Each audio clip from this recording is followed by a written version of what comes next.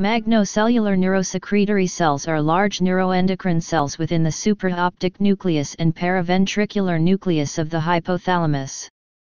They are also found in smaller numbers in accessory cell groups between these two nuclei, the largest one being the nucleus circularis. There are two types of magnocellular neurosecretory cells, oxytocin-producing cells and vasopressin-producing cells, but a small number can produce both hormones. These cells are neuroendocrine neurons, are electrically excitable, and generate action potentials in response to afferent stimulation 1.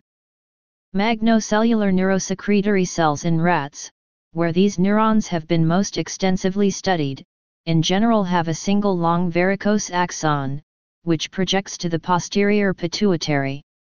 Each axon gives rise to about 10,000 neurosecretory terminals and many axon swellings that store very large numbers of hormone-containing vesicles too these vesicles are released from the axon swellings and nerve terminals by exocytosis in response to calcium entry through voltage-gated ion channels, which occurs when action potentials are propagated down the axons 3. The cells typically have two or three long dendrites, which also contain large dilations and a very high density of hormone-containing vesicles.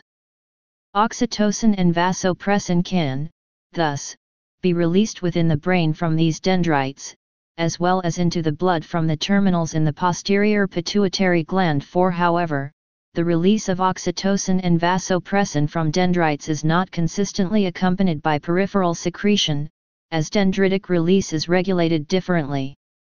Dendritic release can be triggered by depolarization, but can also be triggered by the mobilization of intracellular calcium stores.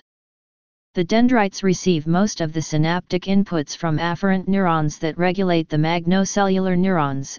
Typically a magnocellular neuron receives about 10,000 synapses from afferent neurons. Please subscribe and thanks for watching.